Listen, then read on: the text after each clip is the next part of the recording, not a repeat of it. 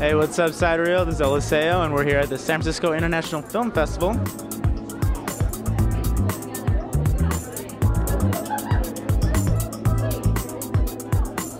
We get around 2,500, but we track overall about 4,000 films, but 2,500 come over the transom.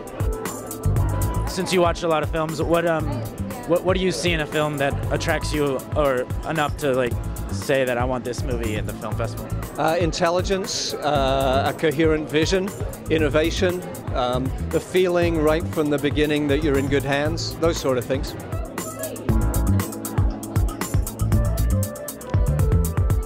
Do you guys like pick on a particular theme before you start watching the movies?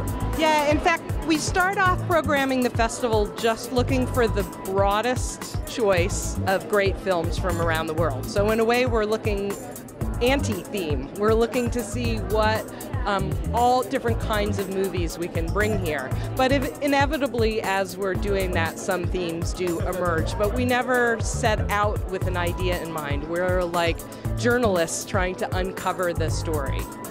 We're looking forward to all these uh, exciting films that are going to be shown at the film festival and hope to share some of these uh, memories with you guys.